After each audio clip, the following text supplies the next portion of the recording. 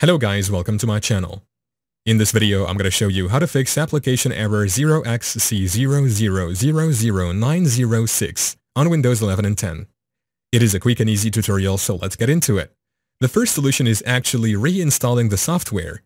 If the installer you used was flawed or a file got corrupted, it's worth downloading it again and running it with administrative privileges. Simply search for the file, now right-click on it and select Run as Administrator. Then see if that fixes the problem. Another step you can try is opening the search menu and typing command prompt. Once it shows up, right next to it choose Run as Administrator. Next, just click Yes to move forward.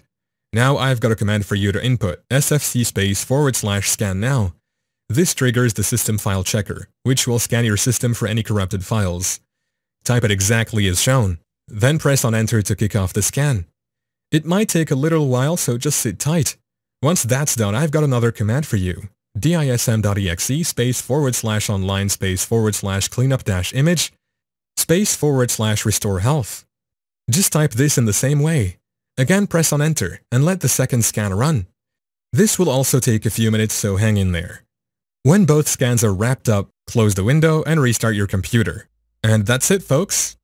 Thank you for watching. If this video was helpful, please leave a like and subscribe to my channel for more videos like this and click on that notification bell to never miss an update.